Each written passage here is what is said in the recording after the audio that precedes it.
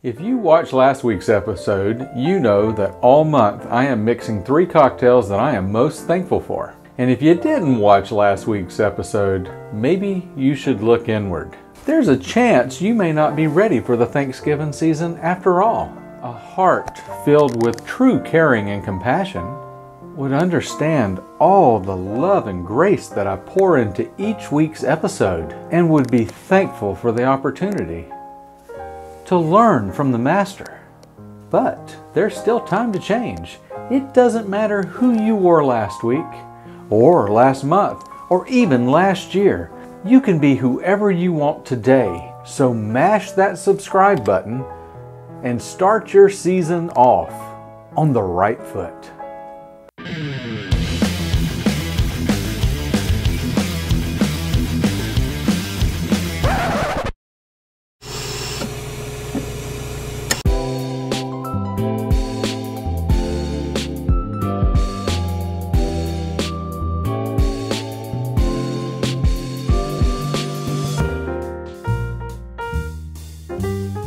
So that now that we got your life in order, now it's time to deal with mine.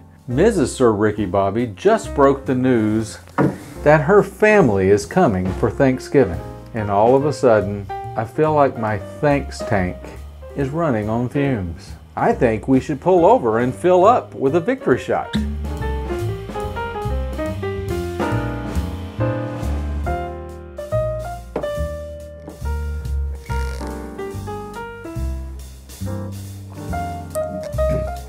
Redemption. Everybody needs redemption.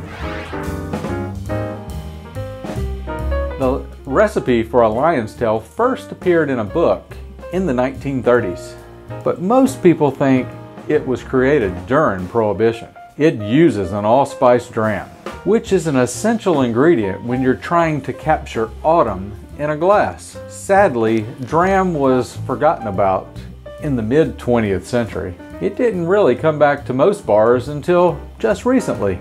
Personally, I am thankful it's back. A half ounce of lime juice to a cocktail shaker.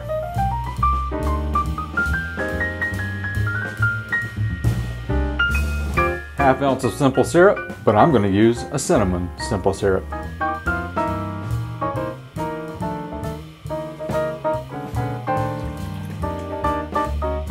Half ounce of my homemade allspice dram,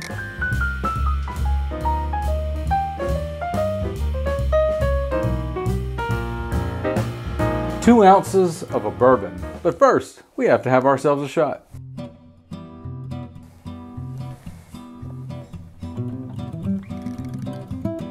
Wow, turkey. Turkey? Thanksgiving? Wow, I couldn't have planned that any better.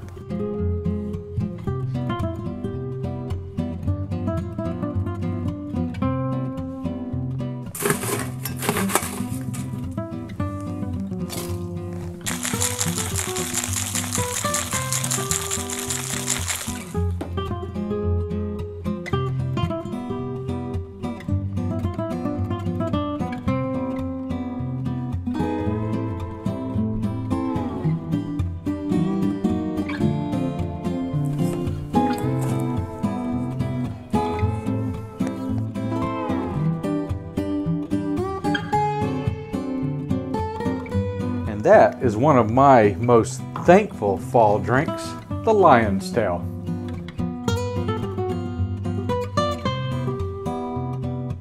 This week's word of wisdom is misrepresentation.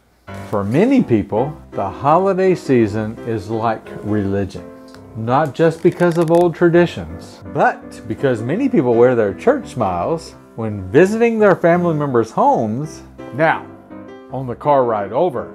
They're complaining about how miserable the day will be and how much they would rather go home. But when they arrive, it is nothing but fake smiles, big hugs, and lying through teeth. Oh, it's so good to see you guys. I love you. We should do this more often. But of course, you truly don't hope to see them again till next year and you're hoping to fake an injury and go home. And if you're lucky enough, that injury will last long enough to get you through Christmas. Now, this sounds like a misrepresentation to me. If you're happy, then smile. And irritated, then frown. Our faces are like Halloween costumes. They don't show the real thing.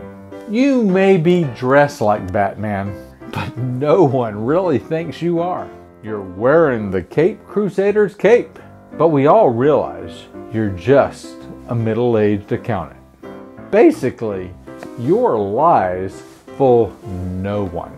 So, just be yourself.